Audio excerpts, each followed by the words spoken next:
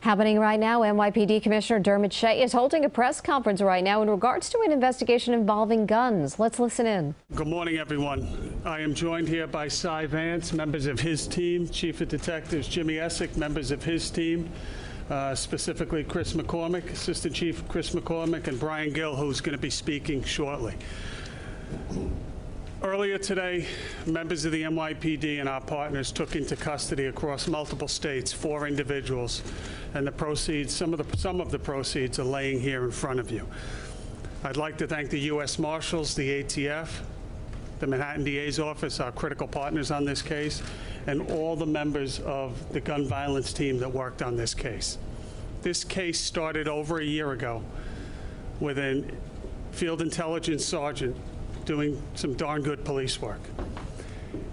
It grew to what you see on the table before you here today. And before I turn it over to Cy, while we take pictures of these guns, and we've been in this room before doing these cases, I don't see guns on this table. What I see is victims. I see kids gunned down in the street. I see mothers standing at funerals. I see Jackie Rowe Adams in Harlem a couple weeks ago, reliving what she's gone through, and that nightmare play out over and over again. I, I can't thank Cy enough and the members of the team that are here today, and the FIO that started it is all the way on the right, for their work here. They carry on the work of two detectives 2003, gunned down in Staten Island doing a gun buy. And I haven't mentioned the undercovers, officers that work this case. But think of the incredible bravery as they go into harm's way to keep New Yorkers safe. So Detective Andrews and Detective Nemorin, we should all remember their sacrifice from 18 years ago, and we carry on their great work here today. Cy?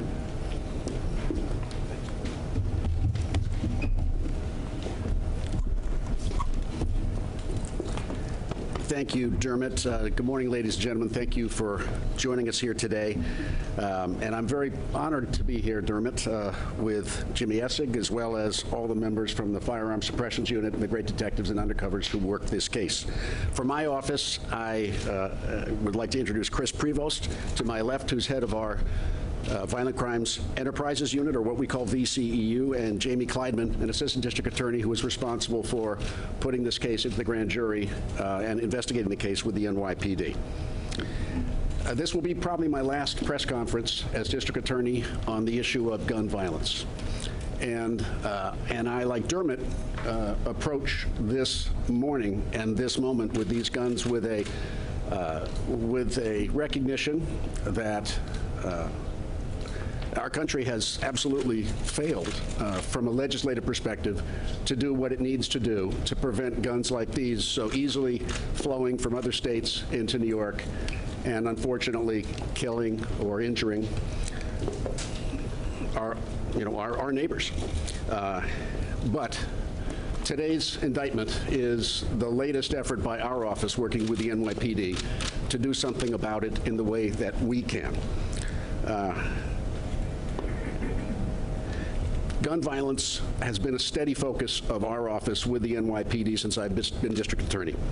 Since we formed VCEU in 2010, from that unit alone, we have produced 42 indictments against gun traffickers, separate indictments, involving 123 traffickers, removing just from this unit alone with the NYPD more than 1,800 illegal guns from our streets.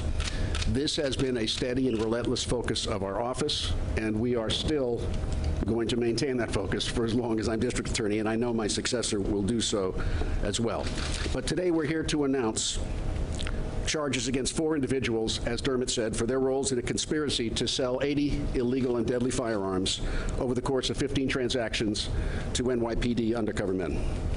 In total, these defendants have been indicted and are charged with 141 criminal counts, including conspiracy, criminal sale of a firearm, and criminal possession of a weapon. Now, the top charge for these individuals is criminal sale of a firearm in the first degree, which in New York State is a B felony, uh, which carries a maximum potential sentence of 25 years in prison.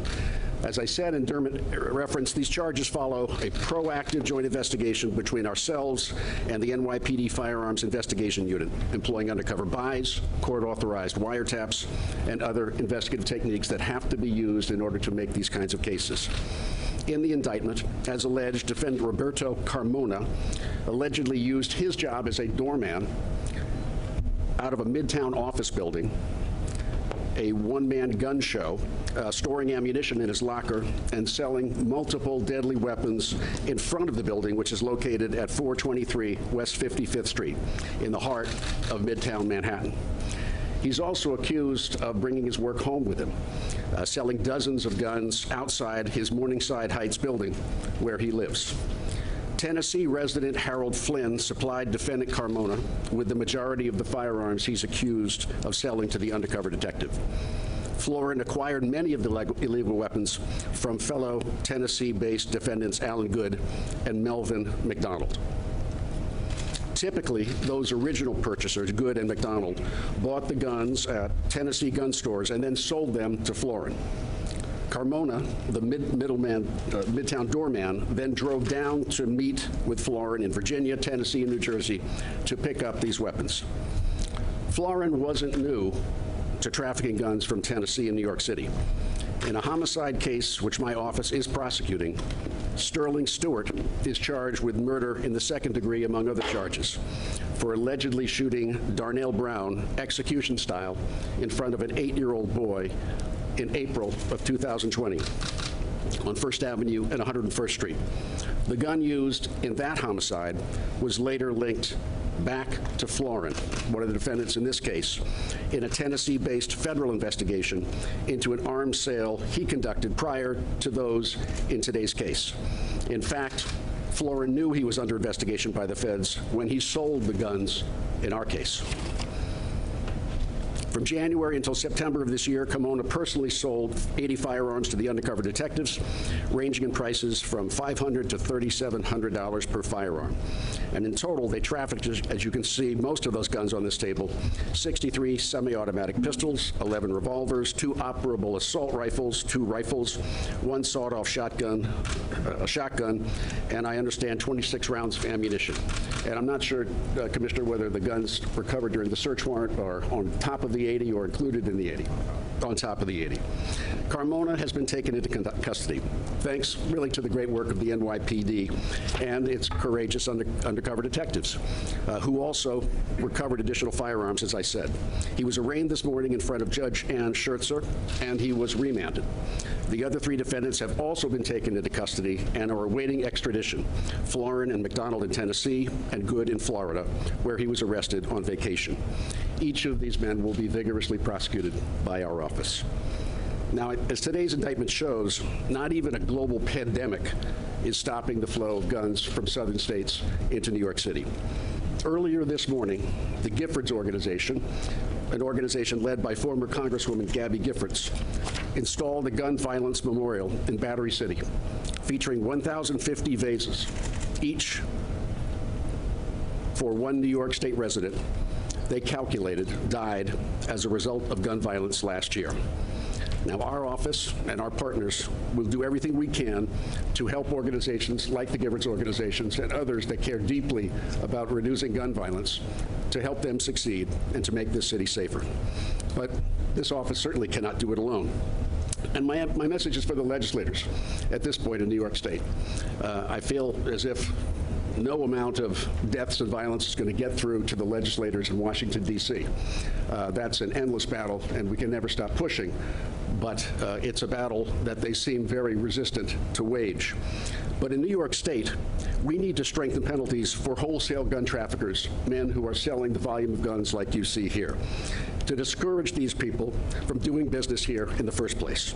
Under our current law in New York State, a person who sells 80 guns faces the same five-year minimum sentence as someone who sells 10 or 100 or 10,000. We can wait a lifetime for states like Tennessee to strengthen their non-existent gun laws, or we can raise the stakes for trafficking in New York. And that's why every year since 2016, I have proposed a new gun kingpin bill to establish the crime of operating as a major trafficking uh, trafficker of firearms. And under this statute, if you sell 20 or more firearms in the space of a year, as the defendants today are accused of, the crime would be elevated from a Class B felony to a Class A1 felony, which carries a penalty of up to 25 years in prison, analogous to the major drug trafficking statute, which New York State has. Now, Assemblymember Amy Paulin has adopted our call and introduced the bill each of our last four legislative sessions. So to our colleagues in Albany, when they return to session, this important legislation is long overdue. And at the last press conference, after 42 indictments of traffickers, I don't know what more I can say or what more this office can do to try to bring home the importance of having our laws address the severity of these crimes by having statutes which have penalties severe enough both to deter their conduct and, if arrested, as these 80 guns reflected against these men do, uh, to face the consequences of potentially life in prison. Because as Dermot said, what they're doing is taking lives of our neighbors away from their families. And uh, I can't think of any law more appropriate than the New York State Legislature looking at what the facts are and establishing and passing the law that I think will protect New Yorkers in the way they deserve. Dermot, thank you. Brian? How you doing? Uh, Inspector Brian Gill, the CEO of uh, Firearms Suppression Section. Um, District Attorney went over the case, so I'm just going to introduce some of my team and the hard work they did. Um, First, uh, Detective Garth Morandi, uh, he was the case detective, did a great job, led by Captain uh, Jeff Heilig, um, Lieutenant Mike Raso, Sergeant Brian Manning, and um, Sergeant James Lundy. Um, The heroic actions to be undercover in this case, he's a very experienced undercover. He's got nothing left- left to prove. I worked with the guy 10 years ago in Bronx Narcotics. He's just amazing. Like the police commissioner said, we all walked by the plaque for uh, Nemorin and Andrews in our, in our office who were killed doing this exact job. It's extremely dangerous. Um, and, and you see the guns that, that uh, the undercover was able to buy in this case in such a short uh, period of time. Um, I would like to thank uh, Chris Prevost and the DA, uh, Inspector uh, ADA Kleiman. Um, I'd like to thank the 25 FIO. He's, uh, the FIO program is a great uh, partner for us, so the eyes and ears of the police department. Concerned citizens will go into any local precinct, and, and the FIOs know where to go with the information, whether it be drugs or guns. I want to thank um, Fugitive Task Force, uh, specifically the Panama City U.S. Marshals and Tennessee U.S. Marshals, the Joint Firearm Task Force uh, with the ATF, and internally, uh, the NYPD TARU and uh, NYPD Lab.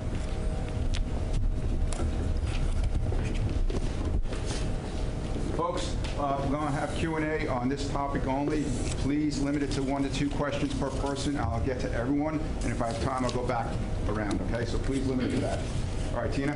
Uh, Commissioner, in front of the West Fifth Street building, the the doorman who's uh, selling guns, is he selling them directly to teenagers, or is a middleman buying them and then selling them to other people? Can you just repeat the question? I didn't hear it. The doorman on West Fifth Street, is he selling it like directly to teenagers, or is he selling it to a middleman? We had electric survi- surveillance in this case, and we are very confident we were buying all the guns. He was selling them to undercover police officer.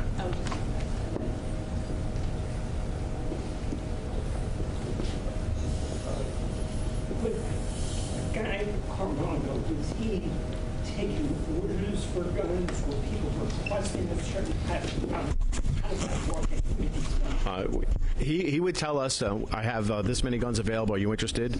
And like I said, we had electronic surveillance, so we're very keen on making sure guns don't hit the streets. Once we dig our our fingers into a case, you know, we want to get all the weapons. So no, we wouldn't uh, give orders, but he would tell us what we would have, and we would say, yeah, we'll take them. Who is he selling to. Excuse me? Who is he selling to? To to us, the police department. But yeah, No. Rocco? In his history, though, who else did he sell to? And, and when he first connects, I guess years ago, Yeah, so. south, and how's that? Yeah, so we're going to work it backwards with the ATF. Um, we run the guns through the lab to see if any violence is used in these weapons, but the guns are not traced out until the case is over. And now we'll be able to find out in his past how many weapons he's bought um, legally or illegally. We'll take a deep dive into all the, the, the straw purchasers that were charged with criminal sale first degree, and actually we'll find out who their associates are. So several cases could branch off this type of case. Do you know how he comes to know the people down south? The, he has a family relation with Florin, uh, brother-in-law's type uh, relationship. I don't like common law, but uh, they like a brother-in-law relationship. One of the suspects is The one, yes, the Tennessee uh, uh, Florin who was driving the guns up. I just want to make sure, I just want to make sure we're clear. Um, at this point, you, do you know how many of the guns are crime guns or not? None of these guns are crime guns, but like the district attorney said, um, one of our subjects is responsible for a weapon that was used in a homicide in Manhattan, but it's not part of our investigation. Juliet? Yes, can you talk a little more about the activity at his home address at Morningside uh, Heights? What was he doing there? Was he selling there? Or Yeah. So he, he was a doorman in, in Midtown Manhattan um, on 55th Street, and he was a super at his building up in Upper Manhattan within the confines of the 2-6 precinct. So we did five buys in Midtown, and we did 10 buys up at his uh, residence for 15 total. More, he did more selling up in his own residence. Yes. Tony over here? How affable, Carmona, how affable out front a uh, doorman was it? Was it somebody who the neighbors knew, liked, walked dogs, or helped people with packages? I, I don't have an answer to that question. Jonathan? The events, you asked the question, quickly, what more can be done for the legislature? A lot of people are wondering what more can be done about people caught carrying guns, that there seems to be too much leniency across the five boroughs. And I was wondering, since this is your last press conference on uh, guns, uh, if your office has made any mistakes in the last two years in terms of the way you prosecuted and handled gun possession cases and the other DAs, uh, and that it seemed you had very good lid on crime in Manhattan up until about two, three years ago, and then we've seen the spike. Right. Any mistakes in the last year? Well, that, that spike you're seeing in Manhattan is mirrored in every major city in America. Uh, so that is not unique to New York City. But Jonathan, I, I, I will say that our policy on gun cases has been, I think, among the five district attorney's offices, as stricter, stricter than anyone else, and I think that's entirely appropriate. Uh, it's a Class C violent felony to possess a gun, and uh, if there if there are cases that we agreed to a reduction of the potential sentence. Um, It would have been after a careful analysis by the lawyers in our office office and not done casually or- or or without thought.